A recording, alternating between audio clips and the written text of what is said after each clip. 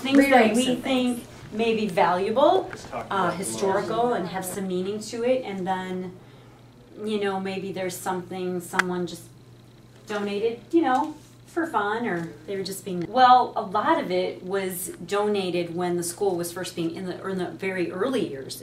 When the when the school was first being built and at the turn of the century by the Matthiessen families, the Blow family, that's the wow stuff. But then there's other things that have been donated through the years.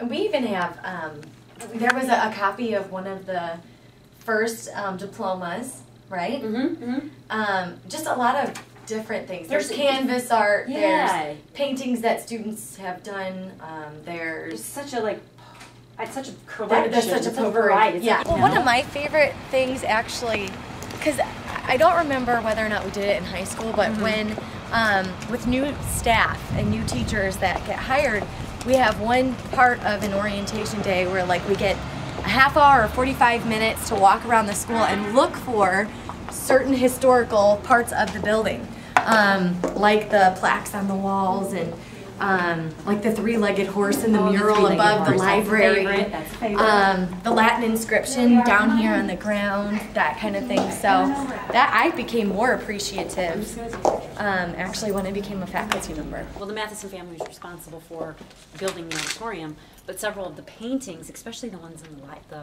like we said, the ones that have a lot more, you know, wow to it, they are uh, donated by the Matthiessen family or relatives of the Matthiessen family, descendants of the Matthiessen family. Some of these have some of these were up, and then they were taken down when they did some remodeling and painting upstairs. Some got put back up, some didn't. Some I remember from being up a while back. We haven't decided how we'll decide what items are going to go where. Right now, we're in the initial stages of just identifying what we have um, and what exactly, when they were made, you know, what the stories are behind them, what the common themes are. Like that database we were talking about, we have to have all of that. We feel at least a good understanding of what we're working with before we make our decisions. The winter oil. scene, And it's a gift of Mrs. Matthiessen. Fifth Avenue, New York. St. Patrick's Cathedral, near St. Patrick's Cathedral, Armistice Day. Says the priests at the mosque. Um, original watercolor given by Mr. and Mrs. Francis um, Kilduff to the school as a memorial to Mr. McCormick. And when I first started here, like seven years ago, just blindly, you know, wondering about some of this stuff, I found out that the artist over here ended up moving to Europe, and I think he was a prominent filmmaker at the turn of the century, and he's an LP grad. Um, and the painting itself is originally from 1657 um, to 1747. French Impressionist painter around the turn of the century.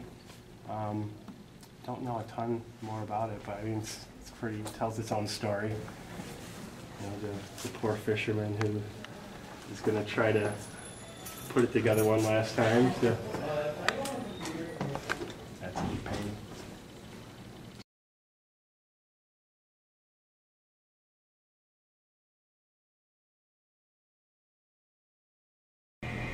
So many treasures in this school. And so, you know, we're hoping sometime to do, uh, you know, looking down the road, getting everything documented, and maybe doing a little gallery, and the community can come in and see it, and be kind of neat.